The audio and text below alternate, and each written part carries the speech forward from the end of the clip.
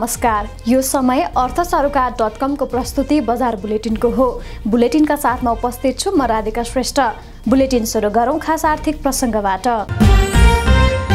साताको कारोबारको तेस्रो दिन मङ्गलबार नेप्से सूचक छयत्तर दशमलव छ पाँच अङ्कले वृद्धि हुँदै एक्काइस सय सतहत्तर दशमलव चार सात बिन्दुमा पुगेको छ।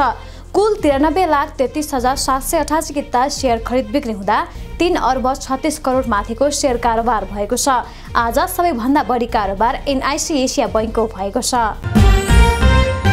नेपालको पाँच तारे होटल एक एन एटीले गैर कानुनी रूपमा विदेशी नागरिकलाई काममा राखेको पाइएको छ। बिजनेस भिजामा नेपाल आएकी अस्ट्रेलियन नागरिक मोनिका पिटर स्काई ब्लाउडलाई होटलले संस्कृति बिना नै जिएम बनाएको पाइएको हो। लाइसेन्स नवीकरण शुल्क फ्रिक्वेन्सी दस्तुर रोयल्टी र जरिवाना लगायत सरकारले तिर्नुपर्ने बक्यौता रकम नतिरेपछि स्मार्ट टेलिकम खारेज हुने भएको छ। तिस अर्बभन्दा बढी शुल्क नतिर्दा कम्पनीको अस्तित्व धरापमा परेपछि लक्ष्मी बैङ्क तत्कालीन नेपाल इन्भेस्टमेन्ट बैङ्क र प्राइम कमर्सियल बैङ्कको दुई अर्ब बढी ऋण जोखिममा परेको हो। एटी एयरलाइन्सको जहाजको पखिटामा समस्या देखिएको छ। घटनाको प्रारम्भिक रिपोर्टका अनुसार पोखरामा दुर्घटनामा परेको एटी एयरको एटिआर बहत्तर जहाजको दुवै पखेटाको इन्जिनमा समस्या देखिएको हो। मेरो माइक्रो फाइनेन्समाथि ऋणीले ऋण तिरिसक्दा पनि फर्जी कागज बनाएर कर्जा सुरक्षण कोषको पैसा खाएको आरोप लागेको छ।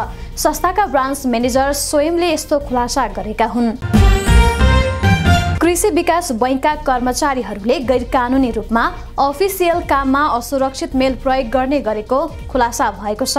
बैङ्कले पनि यस्तो गलत काम आफ्ना कर्मचारीबाट भएको स्वीकार गरेको छ।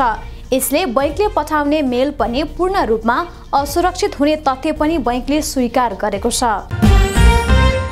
नेपाल राष्ट्र बैङ्कले ऋण लिँदाको शर्त लागू नभए खबर गर्न अपिल गरेको छ। ऋण लिँदा ऋणी र ऋण दिने संस्थाबीच भएको सम्झौता अनुसारको शर्त लागू नभए संस्थाको गुनासो अधिकारी र गुनासो अधिकारीले नसुन्ने राष्ट्र बैङ्कलाई खबर गर्न राष्ट्र बैङ्कले अपिल गरेको हो। निष्कासन भएका पछिल्ला म्युचुअल फन्डहरूमध्ये सनराइज फोकस इक्विटी फन्ड सबैभन्दा फ्लप भएको छ। सेयर लगानीकर्ताले चासो नै नदेखाएपछि सनराइजको कन्तबिजोग भएको हो। यसभन्दा अघि सबैभन्दा कन्तबिजोग नोबेल इन्भेस्टमेन्ट बैङ्किङको भएको थियो। रवि लामिछाने नेतृत्वको राष्ट्रिय स्वतन्त्र पार्टीलाई गृह मन्त्रालय नै दिएर सरकारमा पुनः ल्याउन सत्तारूढ दलले छलफललाई थप तीव्रता दिएका छन्। सत्तारूढ दल एमाले र माओवादी यस विषयमा थप छलफलमा लागेका हुन्।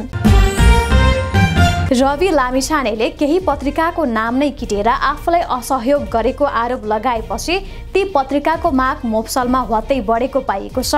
विशेष गरी काठमाडौँ बाहिरका विभिन्न स्थानमा कान्तिपुर अन्नपूर्ण लगायत पत्रिकाको माग हत्तै बढेको वितरकहरूले जनाएका छन्। प्रधानमन्त्री पुष्पकमल दाहाल प्रचण्डले सरकारी विधा अत्याधिक हुँदा सेवा प्रवाह प्रभावित बनेको भन्दै त्यसमा पूर्ण विचार आवश्यक भएको बताएका छन्। विभिन्न पर्व र दिवसको नाममा विदै विदा हुँदा सेवा प्रभावित भएको भन्दै सच्याउनु पर्ने बताएका हुन्। लाइसेन्सको ट्रायलमा सत्तरी प्रतिशत अङ्क ल्याए पनि पास हुने भएको छ। यातायात व्यवस्था विभागले फागुन एक गतिदेखि लागू हुने गरी लाइसेन्सको ट्रायल दिँदा सत्तरी प्रतिशत अङ्क ल्याए पास हुने व्यवस्था कार्यान्वयनमा ल्याउने भएको हो। हवस् त आजका लागि बजार बुलेटिन यति नै। हाम्रो भोलिको बुलेटिन हेर्न नभुल्नुहोला। खास आर्थिक समाचारका लागि अर्थ सरोकार डट कम पढ्दै हेर्दै र सुन्दै रहनुहोला। नमस्ते।